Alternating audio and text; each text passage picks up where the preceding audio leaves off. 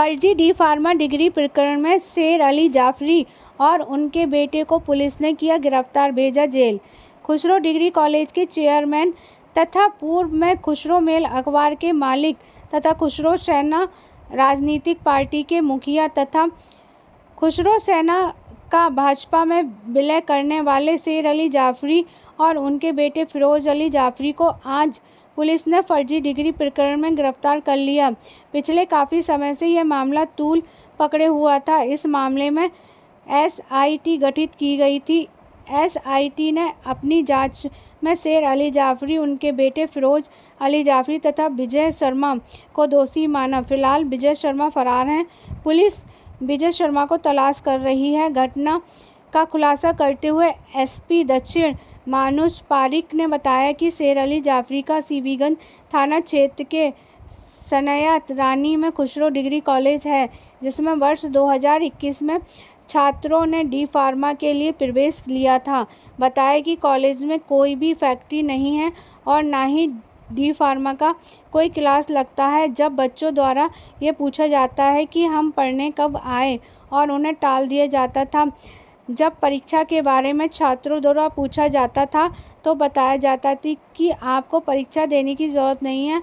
हम ऐसे ही तुम्हें कहेंगे एक फर्जी डिग्री का मामला था। क्या पूरी कार्रवाई की गई है? कितने लोगों को गिरफ़्तार किया गया है?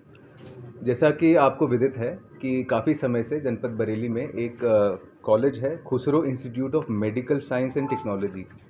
इससे संबंधित कई छात्र उनकी शिकायतें आई कि उनको जो डी फार्मा की डिग्रीज़ दी गई थी और अंक पत्र दिए गए थे, वो जब वो लेके विभिन्न जगह नौकरी के लिए जाते थे या फिर फार्मासिस्ट के लाइसेंस के लिए जाते थे, तब उनको विदित होता था कि ये जो अंक पत्र हैं मार्कशीट हैं और जो सर्टिफिकेट हैं, वो फर्जी हैं।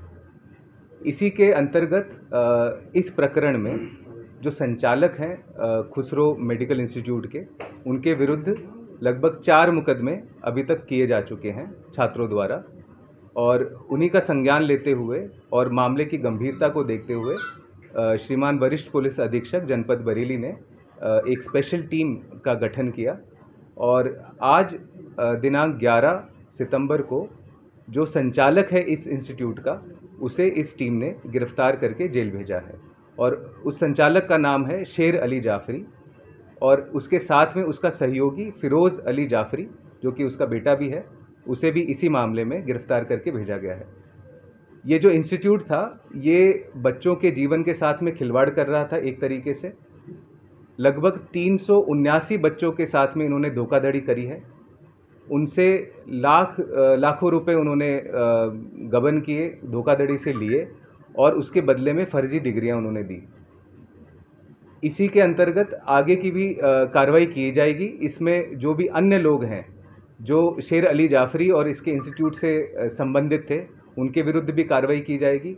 और इसमें यह भी देखा जाएगा कि जो कूट रचना करके धोखाधड़ी से, जो पैसा लिया गया है बच्चों से वह पैसे का जो मनी ट्रेल है उसको भी देखा जाएगा और जो जो लोग इसमें इन्वॉल्व हैं उन सभी के विरुद्ध कार्रवाई की जाएगी। इसमें सर एक समाजवादी पार्टी के नेता डॉक्टर विजय शर्मा कथित डॉक्टर है वो भी इन्वॉल्व है उसके खिलाफ भी एफआईआर दर्ज है। क्या वो फरार है टीमें उसकी तलाश में इसमें जितने भी लोग हैं अन्य जैसा कि मैंने कहा कि जिसने फ्रेंचाइजी दी या जिसने मार्कशीट की कूट रचना करी और उन मार्कशीट्स को अवेलेबल कराया उन सभी के विरुद्ध कार्रवाई की जाएगी। जो भी फरार हैं उनके उनको भी जल्दी ही दबिश दे के गिरफ़्तार किया जाएगा। मुख्य भूमिका किसकी रही थी सर? मुख्य भूमिका किसकी रही थी? बताया जाता है डॉक्टर विजय शर्मा की रही थी या फिर इसमें इन लोगों ने गिरोह बना के काम किया है कि एक की भूमिका जैसे एक सर्विस प्रोवाइडर की रूप से रही है विजय शर्मा की जो कि इन्हीं मुकदमों में वांछित है हमारे।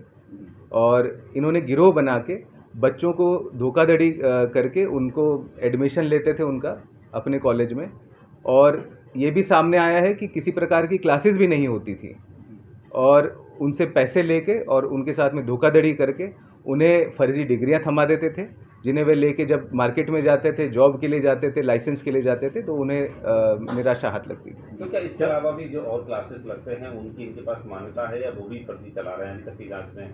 ये इस जाँच का विषय नहीं है। वो जाँच में जो जो चीज़ें बाद में आएँगी उनके ऊपर आवश्यक कार्रवाई जिस गिरोह बनाकर चलाते थे क्या इनका गैंग पंजीकरण कराया जाएगा। इसमें जितनी भी कार्रवाइयाँ हैं आगे जैसे कि गैंगस्टर की कार्रवाई है गैंग पंजीकरण की कार्रवाई है जो भी कार्रवाई इसके अंदर आवश्यक होगी वह कार्रवाई की जाएगी। इन्होंने जो फर्जी मार्कशीट डिग्रियाँ थी वो खुद ही प्रिंट की थी या कहीं से बाहर से प्रिंट करा के मंगाई थी क्या? तो ये इन्होंने जो मार्कशीट्स दी हैं उसमें भी एक बहुत ही महत्वपूर्ण तथ्य सामने आया है। कि जो मार्कशीट दी हैं, वह खुसरो मेडिकल इंस्टीट्यूट की नहीं है। वह मार्कशीट्स इन्होंने फ़ोटोशॉप करके अन्य यूनिवर्सिटीज़ की भी दी हैं। कई यूनिवर्सिटीज़ तो एग्जिस्ट भी नहीं करती हैं। और जाँच में यह भी प्रकाश में आया कि उन यूनिवर्सिटीज़ ने भी ये बताया है कि ये उनके यहाँ से मार्कशीट नहीं गई हैं, रोल नंबर फर्जी हैं, ये सारी चीज़ें जो उनके उनके द्वारा दी ही नहीं गई हैं ये मार्कशीट्स। तो कई, लगभग आठ यूनिवर्सिटीज़ ऐसी हैं इंस्टीट्यूट्स ऐसे हैं, जैसे कि एक इंस्टीट्यूट उड़ीसा का है एक इंस्टीट्यूट हिमाचल का है एक रुड़की का है एक कानपुर का है। इसी प्रकार से ये जो भी इनको ऑनलाइन मिल जाता था इजीली एक्सेसिबल उसकी फ़ोटोशॉप करके ये बच्चों को वो अंक तालिका या आ, जो डिग्री सर्टिफिकेट है वो थमा देते थे। बहुत बहुत धन्यवाद।